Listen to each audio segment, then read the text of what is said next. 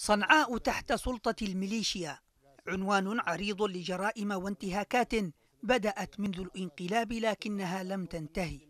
مواطنون بلا خبز ولا أمان ولا كرامة. هكذا يعيش سكان هذه المدينة يوميات القهر في عهد الميليشيا. لا شيء هنا سوى مزيد من الفقر الذي يحيط بأسر توشك على الموت جوعا.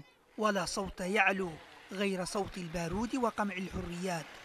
جديد صنعاء هذه المرة سلسلة جديدة من النهب المنظم بدأته ميليشيا الحوثي بفرض رسوم شهرية على طلاب المدارس الحكومية تحت مبرر دفع مرتبات المدرسين.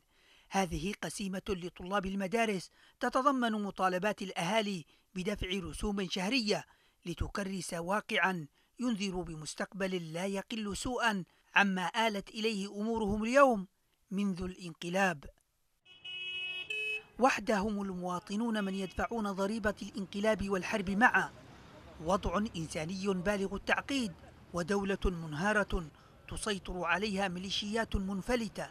فالميليشيا التي تبرع في فرض الإتاوات تواصل احتكار المشتقات النفطية وتحيلها إلى السوق السوداء لتمويل حربها كما يقول ناشطون. هذه الوثيقة تحمل توجيها من صالح الصماد رئيس ما يعرف بالمجلس السياسي. يلزم شركة النفط اليمنية بتفريغ المشتقات في مخازنها بالصباحة دون أن تتصرف في أي كمية منها كونها مملوكة لتجار ولا تجار هنا إلا تجار السوق السوداء التي فتحت أبوابها لتأكل ما تبقى من صبر اليمنيين وقوتهم.